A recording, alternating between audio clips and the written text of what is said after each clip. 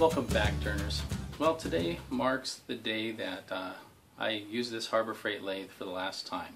Uh, so um, it's been a good lathe, and uh, I've got another video that will follow this one, just talking about some of my thoughts on the Harbor Freight lathe and you know how it served me. Not a review, you know, just kind of a you know my thoughts on it. So.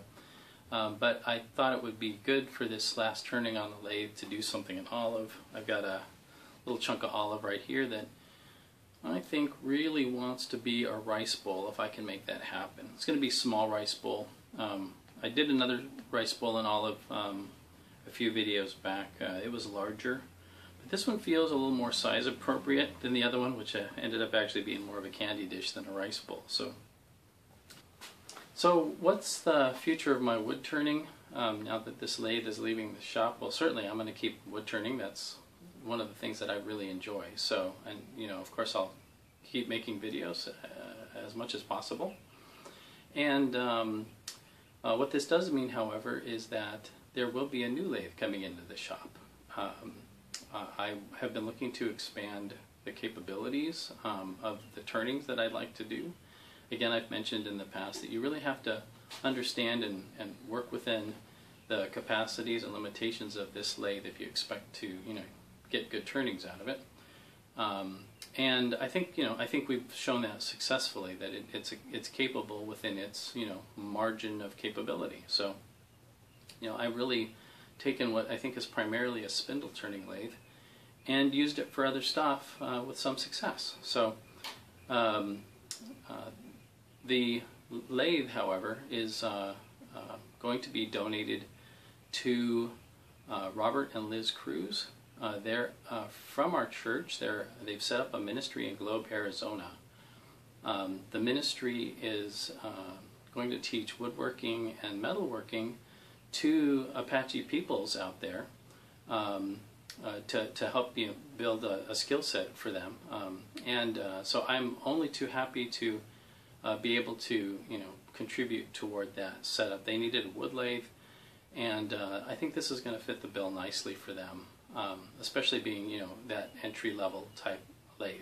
Uh, especially since I think they're going to do like some table leg turnings and things like that on it, which I think it is you know primarily suited for. So. Uh, also, the Lord has given me a tremendous opportunity. Um, I am extremely blessed, and I'm going to have an opportunity to pick up a lathe with larger capacity.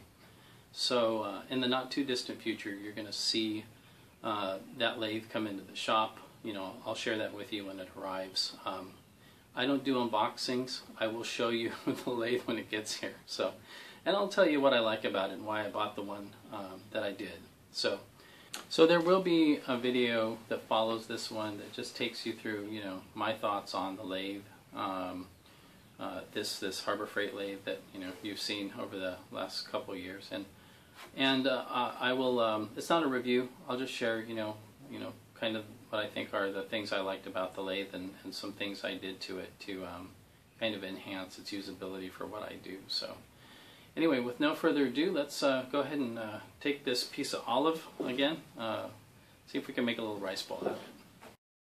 Alright, turners, instead of starting with a mortise or tenon um, or recess and spigot, uh, I'm going to go ahead and use a face plate. Uh, this is the smallest face plate I, I own, so I'm going to go ahead. This is going to be the top of the bowl. So this will be the edge when I'm done. This part under here is going to be the bottom, which we're going to just shape up. I'm actually going to put a recess in the bottom so I can grip it with my uh, six jaw chuck. And um, in order to do that though, this is the fairly, this is like 90 degrees to the side, so I'm going to get the best use out of this. This has got a bit of a an odd angle to it, so Again, you know, just use whatever center, fi center finder you guys have. I like to use this uh, just regular off-the-shelf center finder. You, know, you want to get kind of a good idea of where the center is. And um, so that's that's what I've got right there. So I'm going to take and center this up and mount it with wood screws. Remember to use wood screws and not drywall screws, which are brittle. So I'm going to go ahead and get that attached and then we'll go ahead and get it on the lathe.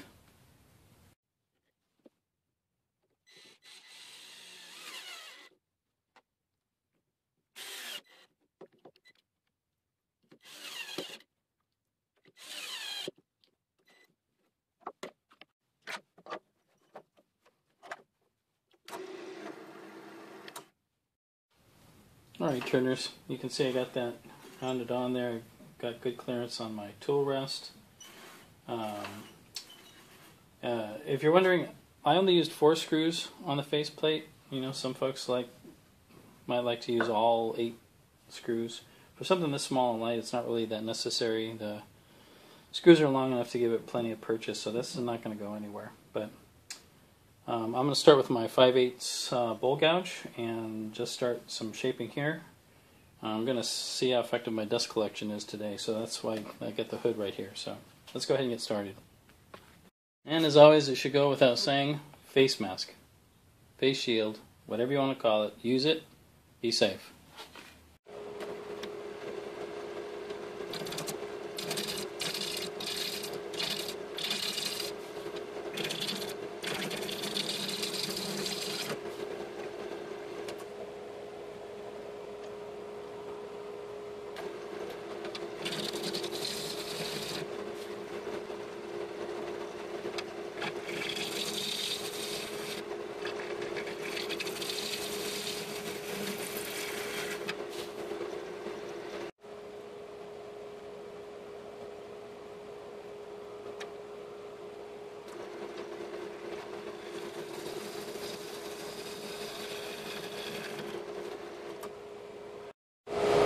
Turners, I've got that bottom turned down uh, to where that little uh, cut mark is no longer there.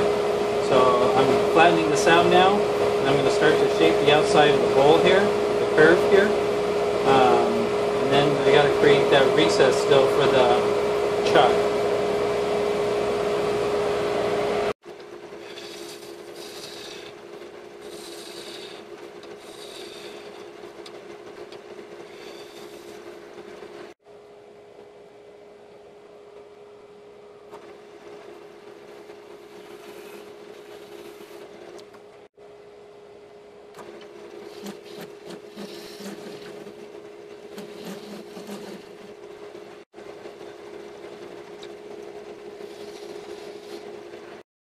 Alright turners, I'm going to put a little something decorative down here using the little uh, detail tool.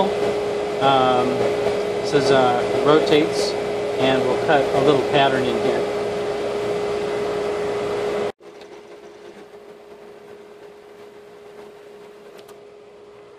Now I'm going to use my little diamond point tool just to create a little uh, couple accent lines around that little pattern.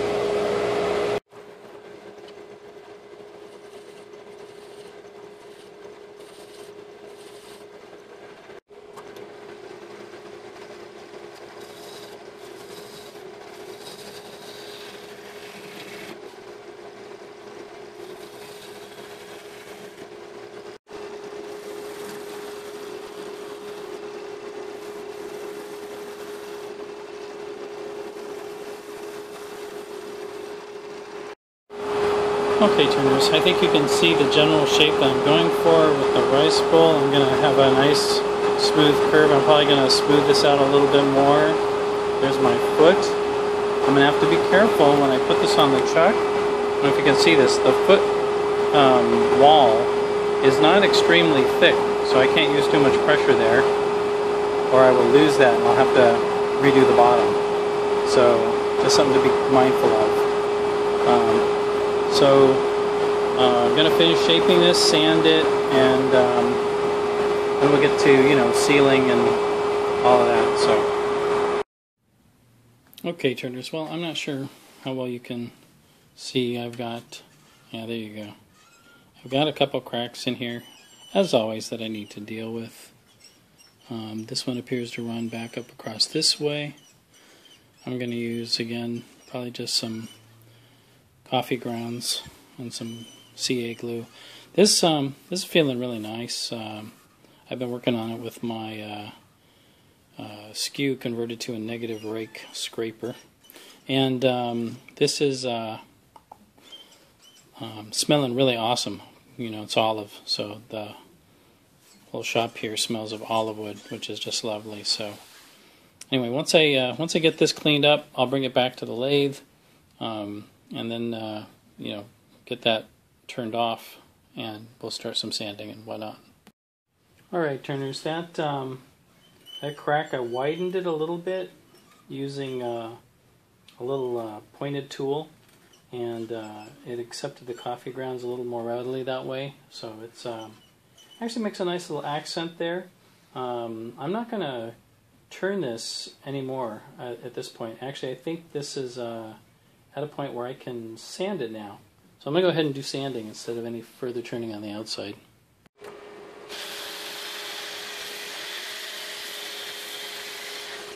Alright turners, sanding finished and that's got a nice, perfectly smooth finish. Um, I'm going to start putting on some sanding sealer and uh, yeah, that's ready to go.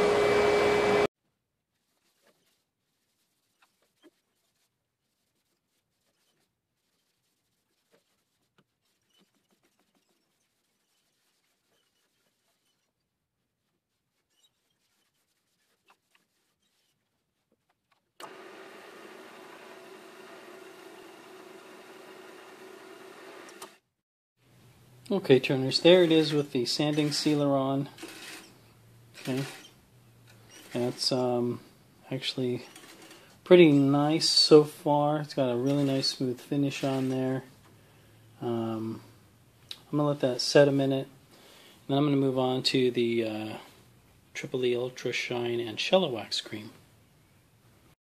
All right, turners, this has got the uh, final finish on it that I'm going to do with the uh, Triple E Ultra Shine and Shellac Wax Cream. So um, I've liked this product. It's been good. Um, I know there's other stuff out there that's equally good. Um, I have just never run out of the original stuff that I bought the last time I bought, so I'm still working on that, uh, working that off. Anyway, this is um, this is ready to come off and get reversed. And um, again, I'm going to say a prayer that this the thin wall here is going to be enough to hold this in place as I hollow this. So let's flip it around and see what we got.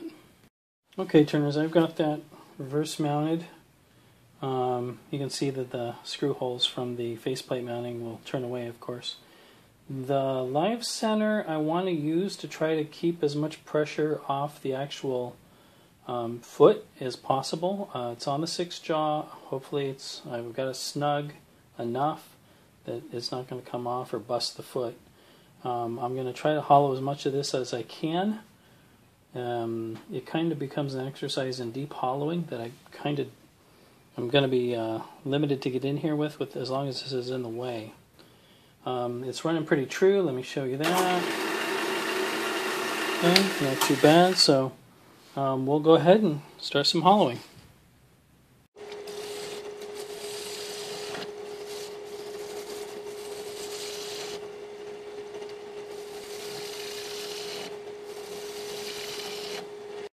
Alright turners, I think you can see that I've got this hollowed out now. Um, that was successful. I was able to do that with that um, live center pushed up against there until I was just about to the very bottom. I used a combination of tools to do this and uh, one of them is this um, uh, hollowing tool that I created. It's got just a really small round carbide tip on it.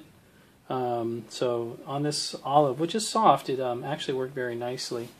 I also have another tool here that I um, made a while back. if you guys have seen this a time or two. I'll show you the profile on this. It's just straight bar stock, but I've got one of those, um, I'm not sure what you call them, hunter style um, hollowing deals. It's kind of cupped. It's a cupped carbide, but it sits at a 45 degree angle on there, and it lets me be able to do some, actually it's like well, cutting, scraping, I'm not sure. Um, but that helped me uh, also get down deep in there. Um, finally, I cleaned up with just a standard uh, half nose uh, scraper, half round. Uh, I put a negative rake on here, makes it really nice, doesn't catch. And uh, that foot has been holding solid, so Uh, now I just need to get in here, do some sanding and uh, some finishing, and we'll be done. Alright turners, well here it is, the last turning on that Harbor Freight lathe. Uh, before the lathe gets donated um, over to Robert and Liz Crews and the workshop they're setting up um, out in Globe, Arizona. And um, I'm going to put some information about what they're doing in the link below. Go ahead and check them out uh, if you're interested. Anyway, uh, so here's the here's the little bowl. There's that little crack feature. Okay, it olive beautiful grain on there. Um, here's the little decoration on that foot. You guys can see that okay? And uh, the interior of the bowl also came out really nice. I got some good hollowing on there. Left a little bit of weight in the bottom of the bowl. Uh, it's got a nice, um, uh, it starts out at a, a nice uh, taper on that wall. So it's thin at the top and kind of tapers in at the bottom to give it, uh, oh, it's probably about a half inch thick in the bottom. I left some weight in there. So um, anyway, I think this is a little closer to uh, a rice bowl shape. Looks kind of like a cup. I'll get it right one of these days. Anyway, uh, I think I could eat rice out of here. Um, if you like the video, uh, please remember to like, comment, subscribe, and also check out my channel where I have uh, other videos that I've made in the past and uh, link to a lot of other awesome wood turners and woodworkers out there. Um, also, just a reminder, I don't um, solicit anybody for anything. All this I pay for myself. Um, not funded. Um, I don't monetize the videos. These are really just, you know, for you guys to follow along. So I hope you're finding them entertaining, um, maybe useful.